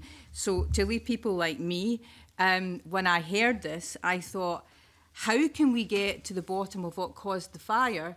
if the fire investigation team have only just been granted access. Mm-hmm. Now, I have written to the fire service, I haven't had a reply yet, but I just wondered what you were able to say about why such a long delay, and are you not concerned yep. that this delay means that we might not get to the bottom of what caused the fire in 2018? Well, massively agree with you. Um, the, the Scottish Fire and Rescue Service have been hampered, obviously, by uh, just straightforward building control regulations. It's about safety. Um, I hope, I mean, we have spoken to the residents and businesses at some length to try and explain to them that we were focused on trying to get the cordon lifted and uh, uh, shortened to get them back into their homes while, while we were not communicating with them. And you're right, we didn't do that. That was a failure of communication. That's because we were working hard on the actual uh, the actual process of trying to get them back into the houses. Um, yes, it's the most frustrating thing I can think of. I met with a, with a few residents um, just last week who were asking me exactly the same thing, and I don't know. Uh, we are desperate to find out the cause of this fire. Um, we can't interfere with the SFRS investigation and understand Police Scotland as well still have, I think, about 70 interviews still to do because they can't do that part until the SFRS have got them. It's a, it's a huge investigation, but there's yeah. nothing we can do to speed that up, and we haven't hampered it. just for clarification, that investigation mm. has been ongoing, as I know from day one, because yeah. Police Scotland have been doing right. the interviews. checking CCTV footage, everything they could do outside the site, they and I think SFRS have been working hand in glove on that. So we're not privy to obviously that, but SFRS itself would only take access once it was safe to do so. It was their choice. We don't grant permission, obviously.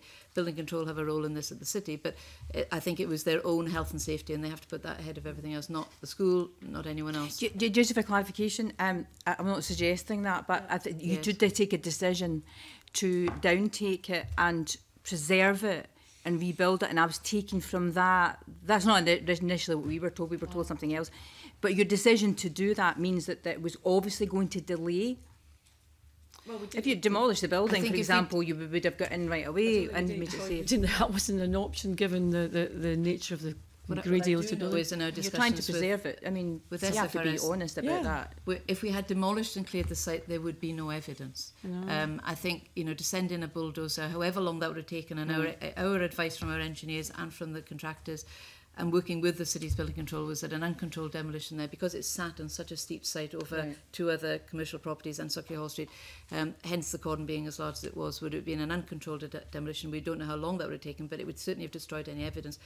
As it is, they've been able to actually piece their way into that building and pick out for So the forensic teams have been in, and it's been absolutely in accordance to you know, they do call the shots, the Police Scotland and SFRS on that, so we would be guided by them on how they wish to access the site.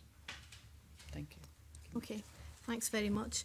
I just wanted to clear up a couple of other issues that were raised in um, our previous evidence sessions. Uh, one is the fact that uh, your contractor, and you, you have addressed this in your rebuttal, your contractor, Keir, um, was uh, criticised um, by Professor John Cole for its work on the uh, Dumfries and Galloway Leisure Centre, uh, DG1, uh, and in particular Professor Cole criticised the fire stopping measures on that building. Now, in uh, you've addressed that in your rebuttal, and you've said at the time of appointment, Glasgow School of Art followed a rigorous procurement process, uh, and the issues relating from the DG1 were not known, but these were reported by the BBC on the 25th of February 2015, uh, eh, eh, it was known that uh, the, the building had closed and the local authority was seeking compensation. Um, Gordon Gibb, who works in your own Department of uh, Architecture, um, has criticised you for this and said that any due diligence would have uncovered uh, this dispute. It was widely known in the construction community before you appointed Keir. Thank you very much, Convener. Um, uh, Gordon Gibb is, is entirely wrong uh, on that and many other aspects, but I'll pass it over to Liz to explain what we knew about that. Um, insofar as I was handling the procurement at that time and the writing of the brief for advert to the to the building community for this project, and as you know, Kia uh, won through. If there'd been any serious um, Um, negligence and something as critical as that, it would have come up in the pre-qualification and they would have simply not been able to even to proceed through the tender process. As it was, you're correct, I think, I don't know what date, 215 uh, or whatever the BBC report was, and much as we all believe everything uh, in the press, the actual report didn't come out, I think, till 217, and that was John Cole's evidence that also looked at the Edinburgh schools. So when the evidence came out in 2017, we did speak to CARE about that at the time. They were very clear that it was a different division of their company. That may just be names, I don't know, but it was a different division of the country. But far more critically for us, it was under a design and build contract. We were under a standard JCT contract, which meant critically that you actually have full supervision and oversight of the project as it goes along. In a design and build, the contractor takes the risk, but also the, the profit, if it comes through, uh, of delivering that project within a budget, within a program. But quality is not going to be uppermost. So it's actually a very fine way of proceeding if you're building a gym hall and it's a new build on a new site, but not for a project like the Macintosh. We went through a standard building contract here. And I did take the trouble, and I'm not going to look at my notes at all, but this is the one place I will, to look at the John Cole report um, and what do you he did say, and it's just two sentences, is that the presence of so many defects and evidence of the fundamental fail were down to the fundamental failures of quality control used by the main contractor, in this case, in the design and build supply chain, delivering the design, construction, supervision and inspection of the building. The lack of independent professional scrutiny of an on-site constructor uh, on uh, uh construction professionals on behalf of the client. We had all of those professionals in place because it was a standard contract where we certified and looked at those works before they got paid. Mm -hmm. It was a it was a daily process of watching what Kia did. Well, not watching, but collaborating. It was a collaborative project, and they were running a very fine project. Right. So, were any of the professionals in your team that were supervising them expert in fire prevention? We had, I tell you, who were fire engineers. They were the they were the uh, fire engineering part of the team. Okay, thanks very much. Just to finish off, to go back to sort of my original point, uh, since your federal report in 2006 2008 um, the fire the building was left it wasn't fire stopped and we didn't have a suppression system in and all that time it was being used for the education of young people um, apart from after the 2014 fire of course um, you've said on a number of occasions that you're confident the building was safe mm -hmm. you, you, you stand by that. Absolutely, yes. Right. It's just because in the, I've got the federal report in front of mm. me here, uh, and the assessment is, and there's um, six different issues: likelihood uh, of a fire occurring in the building, medium to high risk; potential for fire to remain undetected, medium to high risk; potential for fire to grow, spread beyond item first ignited, high risk; potential for fire to grow beyond room of origin, high risk; hazard posed by fire, high risk consequences in the event of the fire spreading high. That was in 2006. Mm -hmm. And the two things that would have um, addressed that, which would be fire stopping and fire suppression, didn't happen. How can you sit here and insist the building was safe? Um, well, again, we're talking about 2006, and um, I think we answered that earlier uh, that we'd what, the previous. But you didn't take any. You, you, didn't put any measures in place in response to that report, which you commissioned. You didn't put any, you didn't put fire suppression measures. You tried to, and we talked through that, and you, you explained why you didn't put fire stopping in mm -hmm. place. But those two significant uh, preventative um, measures were, were not taken. So, despite the fact that what I've just read out in terms of the risk, and you're still insisting the building was safe. Yes, it was deemed to be safe. It passed it passed every regulatory test, and we've explained earlier about uh, putting in the enhancement of the fire suppression system. I think we dealt with that earlier. But it, wasn't. There was no fire suppression system in at the time of either fire. No, but I, uh, well, I'll explain to you again about the fire suppression system. Well, you don't need again. to explain. You explained that before. Yeah. I'm just making the point that you're saying the building was safe, and I've just read out your own mm. report, mm. which says on six different areas that the the building was uh, high risk. Yeah. Okay. Okay. I uh, uh, want to say is if it hadn't been a safe building, we would not have been allowed by the laws of this land to have put 500 students in it and thousands of people to run through it. So like any other historic building, it had issues that we as good custodians were asking the questions about and are probably one of the only institutions that were going to the extent of doing this and then putting in all the measures, CCTV, a, a low pressure mist system, VESDA, smoke detection. But you didn't put the low pressure mist system in, it wasn't in. We were putting it I think you know the Parliament decided to build another crossing of, of Scotland of the Forth Bridge, what in 2007. But if I'd have rolled up there in 2008, I, I'd have got wet. It's it's it has to be built. It has to be designed. It has to be fundraised. It has to be pass all the list of building consent. It was an extraordinary bespoke system. It wasn't a kit of parts. It was something that, and the main part of that in the timeline was to actually raise the funds for it because there are no public funds for putting in a half million pound, or in the case of actually the system we were putting in, over a million pounds worth of mass suppression into that building. Yeah, it and it was your available. choice to pursue mass suppression, and as others have yes. raised with you, you were also spending millions of pounds extending your campus uh, at that time. And again, I think that's an, uh, that's something that people find difficult to understand that this building was left in this state at a time when you spent 50 million pounds on uh, extending your campus and then even after the 2014 fire embarked on another campus extension by purchasing uh, the Stowe building, and that despite all this money being spent on uh, extending the campus, which and the purpose of that is to increase the number of students, of course, increase your income. that uh, this building was left unprotected. But I need to stop you there actually, Kavir. It's not to increase our income because, as you know, our income is pretty much set by you know, the Scottish Government in terms of the places that we have and the international students that we can attract. That's, that's any extra income.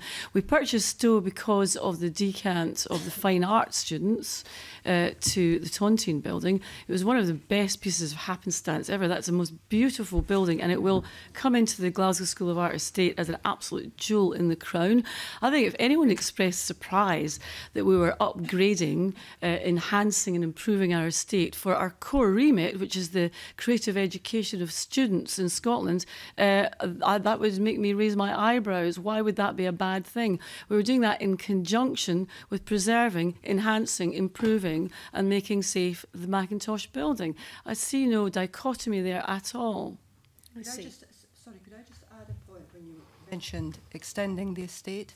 I think you're possibly referring to the Reed building, but the Reed building, I was head of design, the School of Design at that point, and we occupied the Newbury Tower and the Fowlis building, which were deemed unfit for purpose and had to be replaced.